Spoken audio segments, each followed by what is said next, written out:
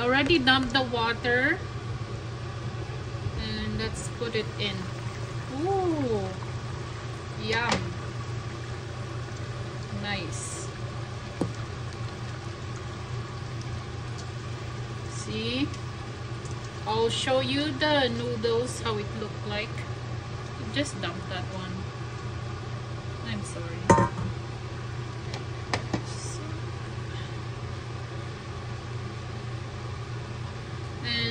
Already turn off uh, the stove. So at least my dough it doesn't get burned. See what it did to the noodles? It gave a uh, red or orange color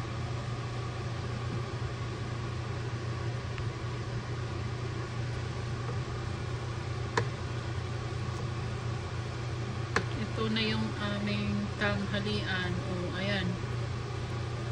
Kita nyo naman o. Oh.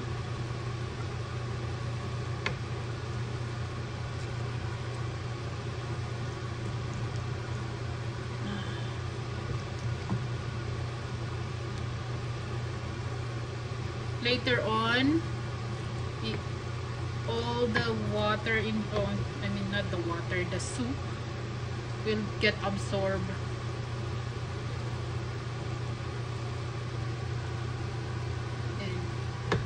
yan simple recipe pag snow. Walang pupunta sa labas dahil daming snow.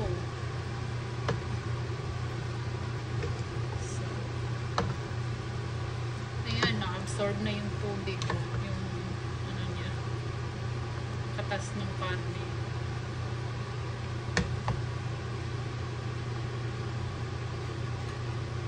Ay, yun.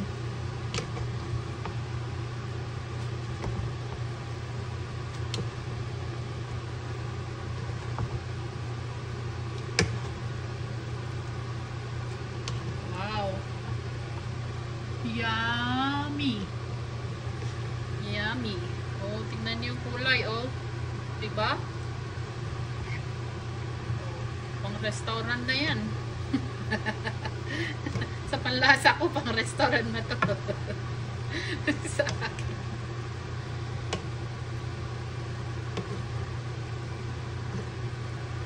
There we go. Yummy. Oh, masarap, oh.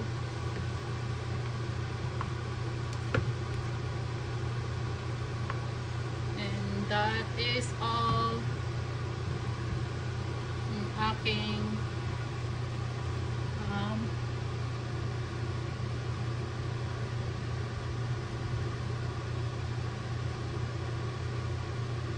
thank you so much for watching. Man ka nga.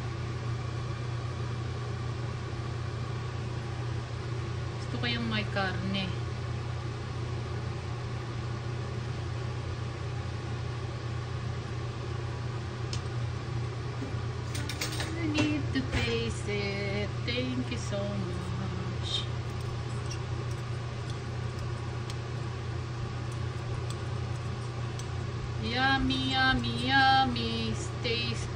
you see.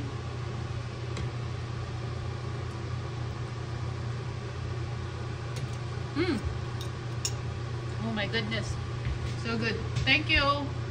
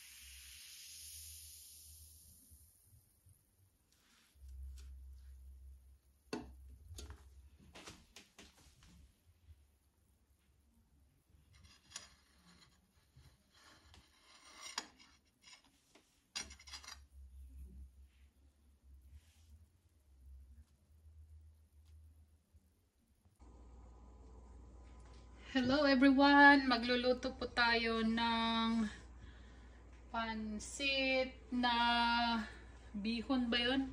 Bihon. So, mainit na itong pan. At lagyan ko na ng manteka. Gusto ko ng marami dahil pampadulas ng Maraming oil, you see? Canola oil. Canola oil. Yan. Yun ang gamit ko. Canola oil. So, by the way, canola oil is uh, product ng Canada. Ito ang gamit namin. Canola oil. Yan ang tawag.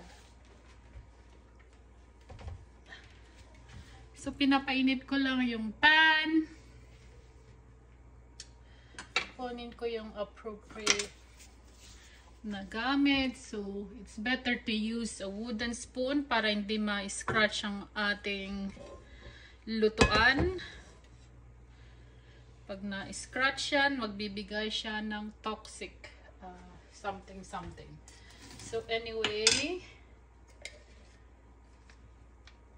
ito ngayon ang gagamitin ko. Mainit na siya. I-low ko lang ng heat. Kasi meron akong ilalagay na special ingredients. Um, special ingredients and the special ingredients is this one. You will ano ko lang muna. Sobrang init. Ayaw ko kasi sobrang mainit itong oil uh, because it will burn the uh, chwete or anato powder. So let's go. Let's dump that in there. And make sure na ihalo-halo natin para hindi talaga masunog. Kasi kung masunog ang mga niluluto natin ay mapait. Sayang laman ang ating ingredients. So kulang ang ingredients ko ngayon dahil nag snow sa labas. Hindi tinamad na akong pumunta at magbili. So anyway, I'll put the annatto seeds now. And you will see the effect later on when I see I put the noodles.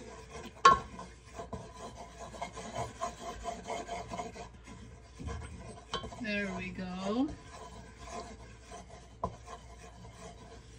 That is a organic coloring natural coloring. Much mas as possible iwasan natin ng mga fake food coloring kasi nakakabigay ng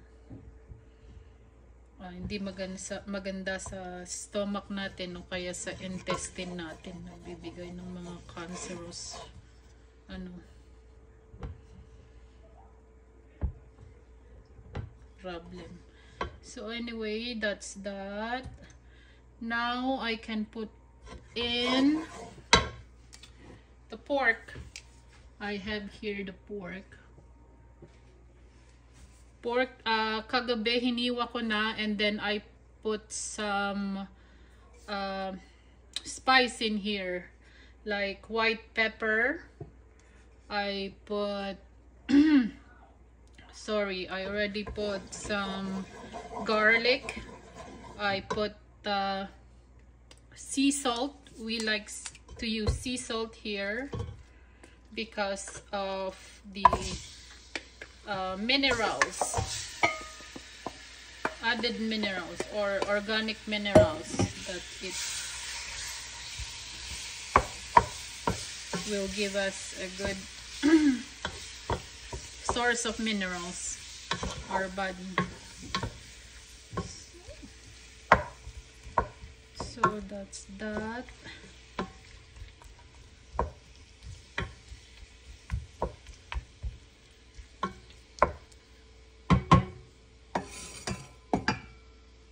So I'm just gonna cook the pork and oh wait a minute. I will cover it so that the meat juice will stay in in the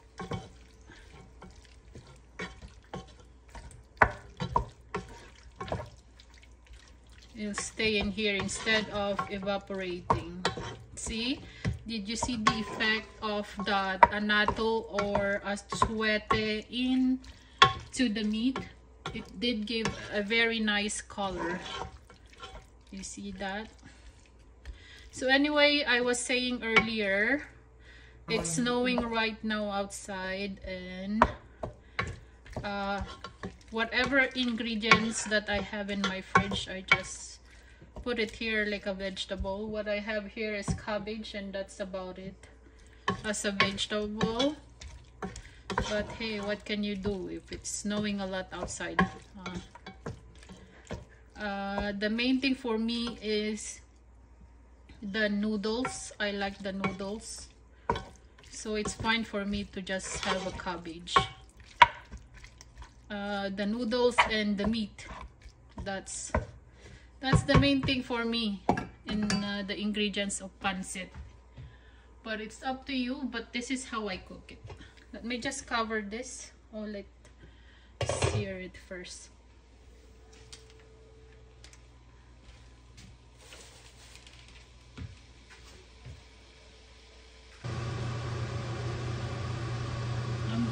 put in two cubes of pork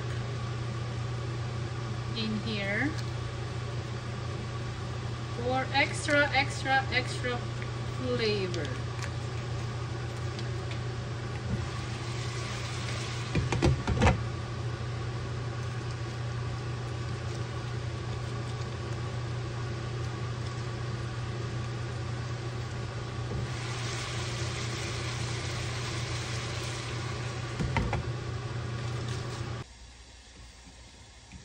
Ayan. Nag, uh, tinakpan ko kasi uh, hindi ko naman ginisa ito. Gusto ko kasi yung ano niya, yung meat, uh, ang tawag nito? Yung meat, uh, yung katas ng karne maiwan dito kasi masarap po yun sa uh, sa pansit. Ayan. Kaya nandyan yung katas ng karne. Ayan oh. Yan, ang masarap sa noodles. Hindi yung igigisama yung karne ng matigas. Hirap ngat-ngatin. Although, kumpleto naman yung ngipin ko. Pero, yun talaga ang masarap na dapat gawin pag nagigisa ng karne. So, what I'm gonna do now, iligay ko na yung konting ingredients ko. So, this is onion, and this is shallot, And then, I have, meron akong cabbage.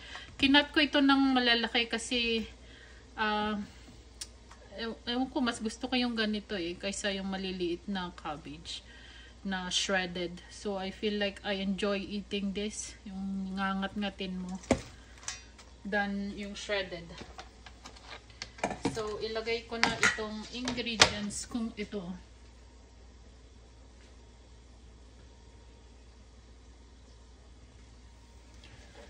So, yan.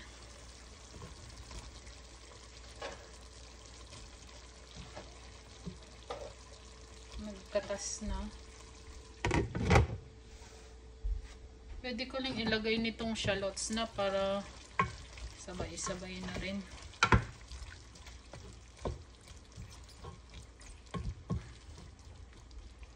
Sabay-sabay ko na lang lahat. Although, dapat ilas itong uh, shallots. Pero meron pa ako nito. Marami pa ako nito. Pang top. Pang decoration. Sa taas. But, nilagyan ko na rin ito ng patis nung minarinate ko yung uh, baboy kagabi. Patis, soy sauce ang nilagay ko. Oops, ang laki nito. Um, uh, ano pa ba? I think that's it. Tsaka sea salt. Mas gusto namin yung sea salt. Kasi nga dun sa mga minerals na naidodolot niya sa atin.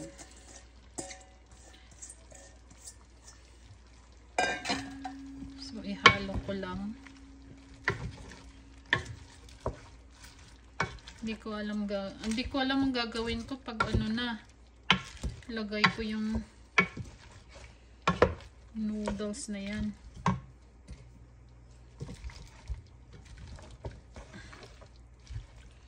You see what does uh, the ashwete or anato, anato powder did with the vegetable? O kulay niya o orange. See? Hindi sila ano, pale na pale tingnan. Dapat lagyan ko pa ito ng ano eh, soy, soy sauce.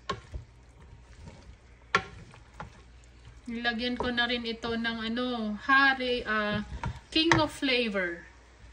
Do you know what is king of flavor? The king of flavor is the uh, Ajinomoto. And the queen of flavor, alam niyo ba kung ano yung queen of flavor? The queen of flavor sa Asia- Asian cuisine is patis.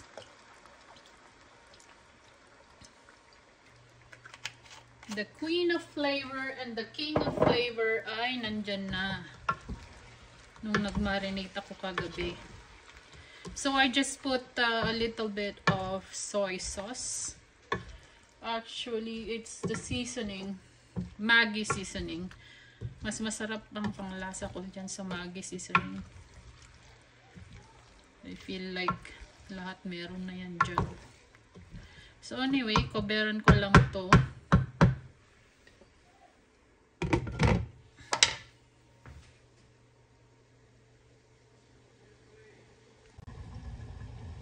Okay, so let's take a look. I just put in two glasses of water for sa sabaw para may higupin yung ano uh, noodles. So I think uh, yung cabbage is already cooked.